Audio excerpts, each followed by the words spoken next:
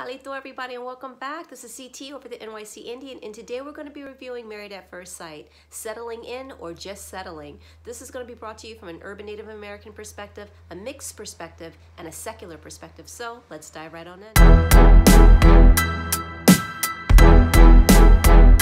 We start the episode with the distraught Katina as a continuation from last week where we saw her completely broken down by that Olajuwon and um, she goes to visit Jasmina and Mike. She's closest with Jasmina.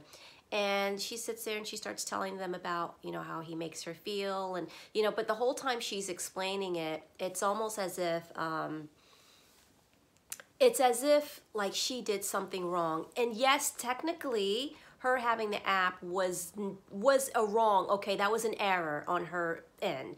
But she literally forgot to erase it. If someone is putting their heart and their soul and you see by their action that they're trying so hard even when you don't deserve it even when you have nothing to bring to the table i mean hardly anything anyway and the person's still trying then and, and she hasn't lied to you so far she's been honest then i can understand you know, you forgot it and hey, listen, make sure it doesn't happen again. You know, from now on, you're not going to reactivate anything, just get rid of it. Okay, move on. If that were a regular situation, but we're talking about Olajuwon here, the man who just enjoys beating up on this woman verbally, anyway, verbally, um, every week is so hard to watch. So, you know, it's like the victim. You know what I mean? And, you know, I've heard, I remember I had a friend one time who was a victim of domestic abuse and when she told me the story of what her husband had did to her, it was just incredible. And then when she showed me the pictures, it looked like something off of CSI. Like, I mean, I couldn't believe the woman was alive the way her face looked. And it was just so incredible to me. And I remember the thing that she said to me um, that was like typical of victims, right? She said to me, um, you know, well, I could have understood if I did something wrong. I mean, I mean, I just, but I didn't, I didn't know what I did. I, I don't know why he did that to me. I don't know why he hurt me. I mean, I, I, you know, but I could, I could understand if, you know, maybe I, I didn't do this or did. So this mentality of like, oh, you know, maybe in certain situations, you know, I wouldn't want him to hit me, but I could, I, you know, certain things could justify his anger. That, that's what she was saying to me. And that's what it made me think of in that moment when a person is being verbally abused, or abuse in any kind of way and they are used to taking abuse it reminded me of people who are in those situations and who will um, take on blame onto themselves instead of saying like you know what? Yeah i did i made a stupid mistake but his reaction didn't quite you know it didn't it didn't justify the reaction or something like that. You know like it just that's exactly what it reminded me of and she's been she's been in, in a relationship before where she was mistreated.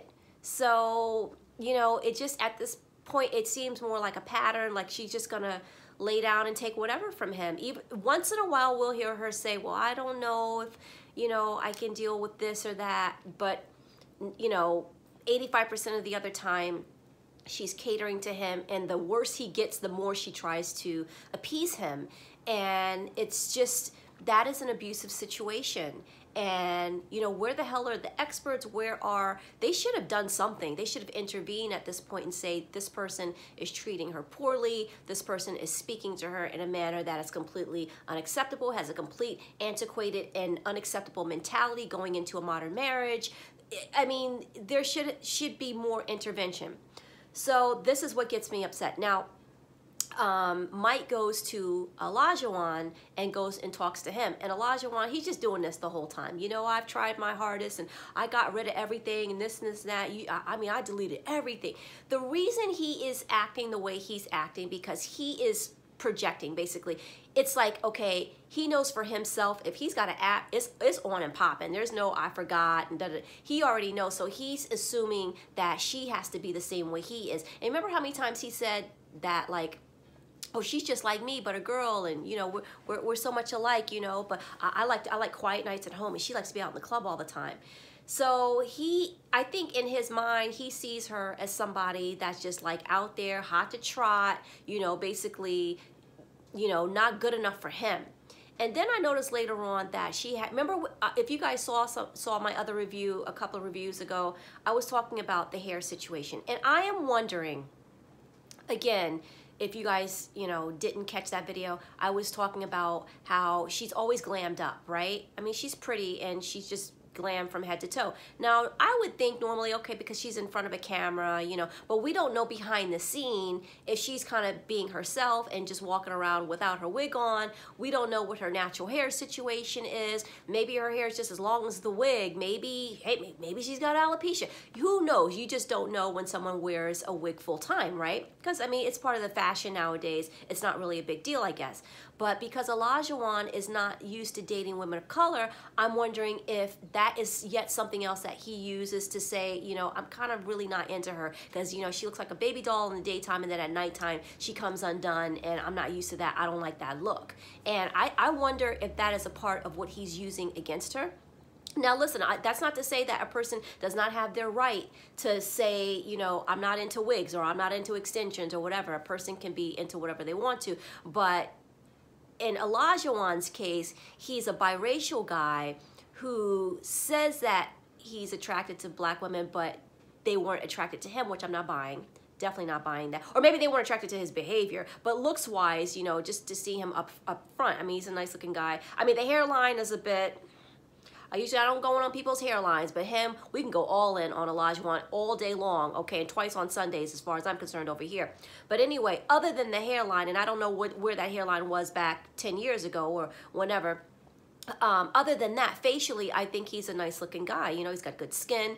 You know, I mean, facially, he's he's, he's not bad. So I don't believe that no black woman is, was ever attracted to him. You know, if you just if, if you just have a particular preference then just state that. I mean just don't go on these shows and you know just state that so it gets confusing to me because it seems like he's so into her, but then other moments he seemed, or in the beginning, it seemed like he was so into her, and now it seems like he is just completely not into her. Or he's he likes the, the improvement she's made, but I don't know if he physically finds her that attractive other than she's skinny, and he likes that, and that's probably what he's used to dating, you know, with other girls than being maybe on the thinner side. Um, I, I don't know.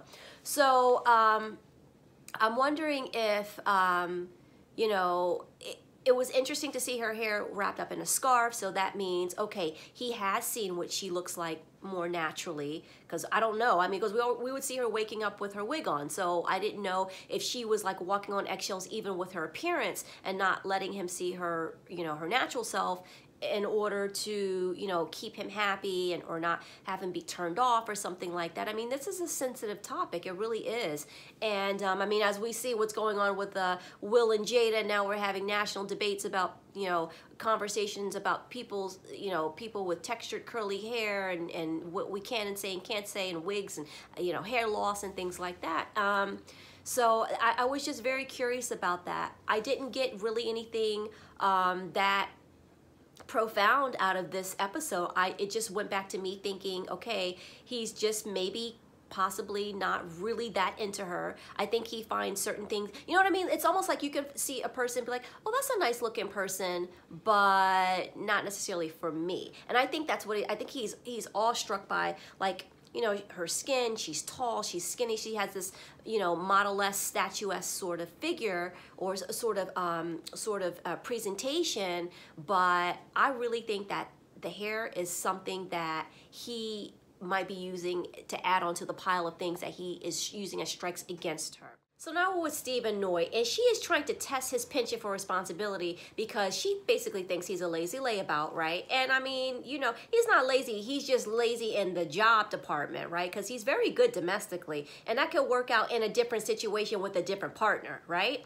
So anyway, I just felt like, you know, why are you trying to test him with your dog? Like, I mean, I you cannot expect people to want, you cannot push your dogs. People have too much, we live in a much more dog friendly culture now, and dogs are wonderful animals. I own two dogs myself, but I don't expect everybody to love my dogs the way I do, and I sure as hell am not gonna take my, my especially my medium sized dog, even the small one, to, um, to the store, to the grocery store. Now, if you wanna take like a small dog in the store, like in your backpack or some kind of self contained carrier that you carry over your shoulder, that's one thing, but I am so goddamn sick and tired of going into the shopping or to the um the grocery store. I'm sick of seeing folks in Target with these dogs in in in the cart. Like, are you serious? Like That is not no therapy dog. What are you talking about? Why don't you just bring your, why don't everybody bring their therapy boa constrictors to the, the um, grocery store? That really pisses me off. It's like, it, to me, it's a very, it's a,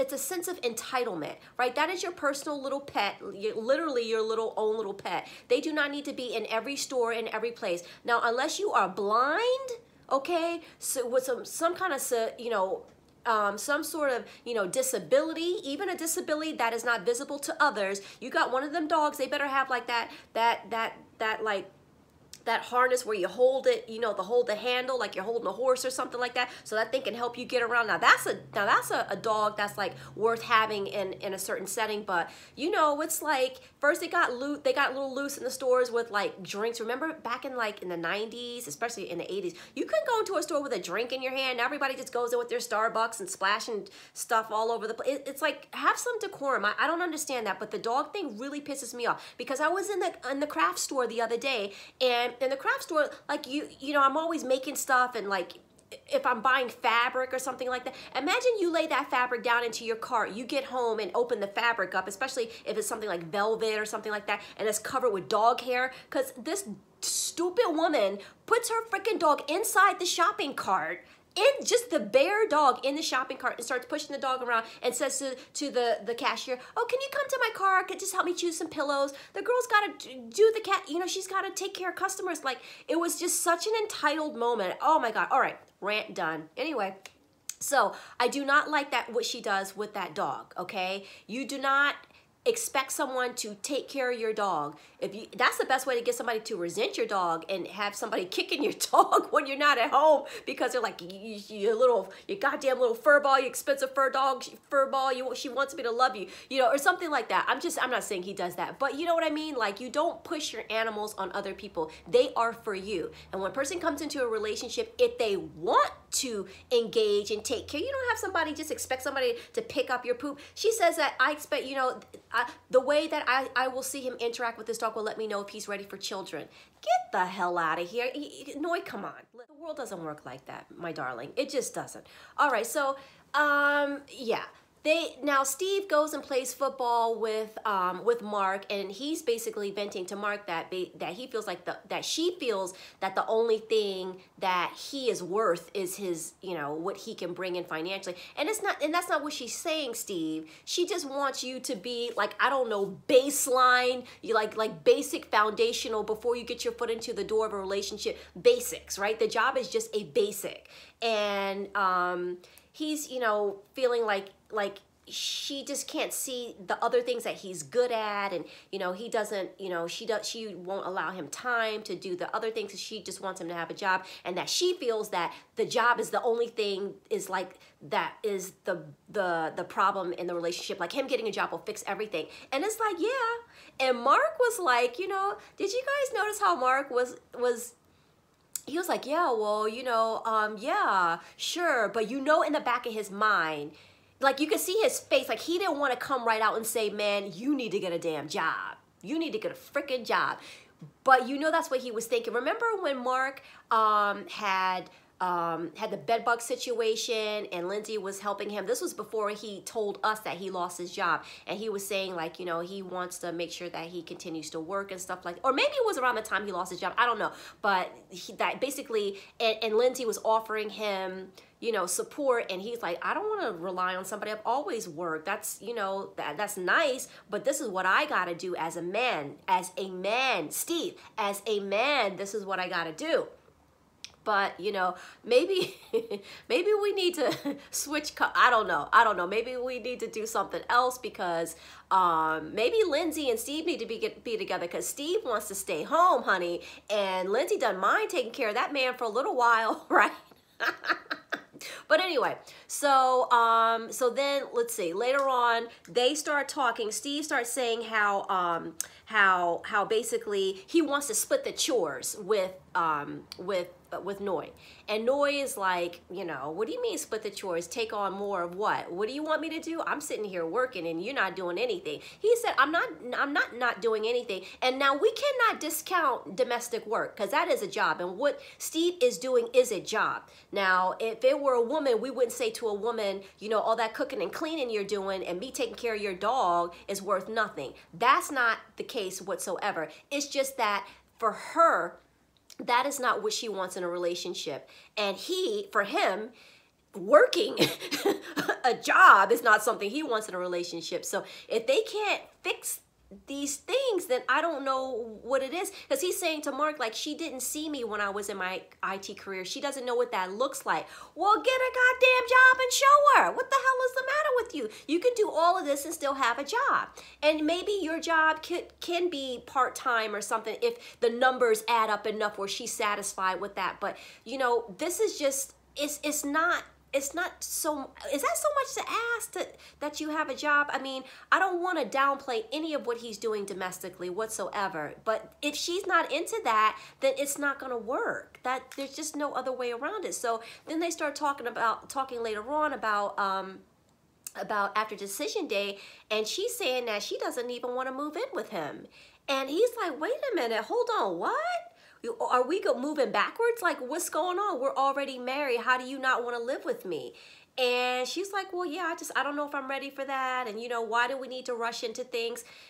He's, he's not listening to her. He, she wants him to get a job. That is not anything unreasonable to ask of, you know, eh, eh, to ask for. So, um, I mean, I said this from the very first uh, review that I did from the first episode that I feel, and you know, I didn't I didn't know we were going to see this play out, but I felt like, you know, she may come to resent him. And now we're seeing it. She is, res- that is resentment. When you say you're not going to move in with your spouse, you're, you're resentful right? Like something in her now is like, uh-uh. And now she goes over to meet with Sriracha, and Sriracha's like, you know Sriracha's like, she's like, Sriracha's like, I gotta make my debut, honey. And she was like, why can't he get a job?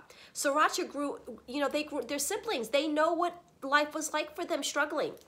So, you know, I'm sure somebody like Sriracha is probably like, you know, look at this healthy, uh, straight, cisgendered, uh, able-bodied male, educated and experienced, not using his resources to support my sister, like the F out of here with that. The F out of here. So, I mean, you know, I was with Sriracha on that one. I, I mean, Steve, I'm sorry. I just can't, there, there's, there's no way to win. What do you expect her to do?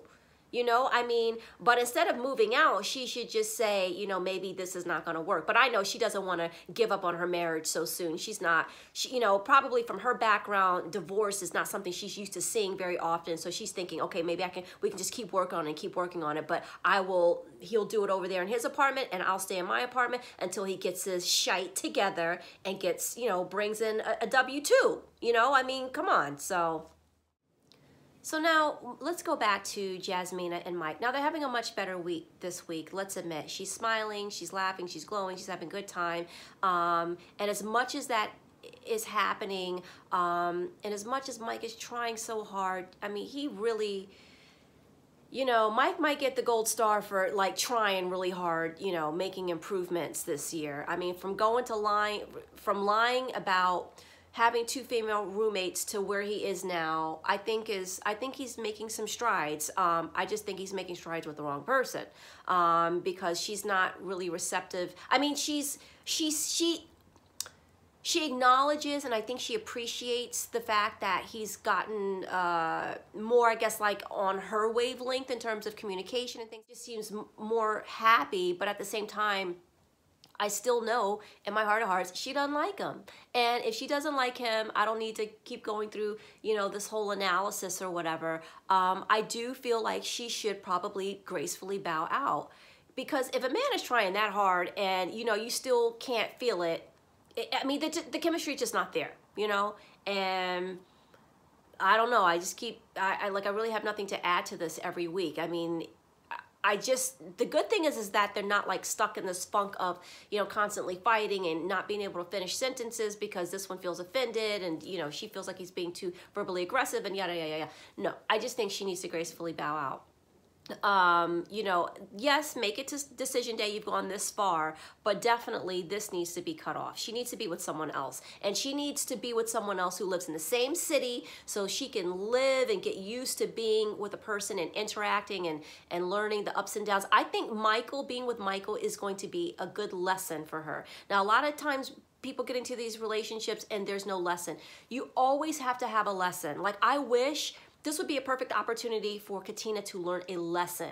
That's you know, if I were to think in the back of my mind that she's going to leave this guy, you know, he might surprise us and leave her. And and that's what that's what I think might happen. I just have a feeling. I don't know. Listen, predictions, we'll, we'll get into predictions later, but as of right now, and as of actually, as of about maybe four episodes ago, I was thinking when it comes to decision day, I think he's going to leave her. I think he's going to say no. I think ultimately she's not what he wants. No matter what she does, I don't think he's she's what he she is what he wants. So going back to Mike and Jasmina, yeah, I think that's going to be a wrap on decision day. Um you know, he could say no too, but I don't think she is going to want to be with him. And, you know, let's just, you know, pull off the band-aid already. It's enough. So now we have Mark and Lindsey, and he's making a nice little organized sort of calendar, and he's including like the different things that they do together, like part of their routine as a couple, and she's feeling included in that. So, um, at least that means we're gonna have a good scene because she's not feeling like he's pushing back,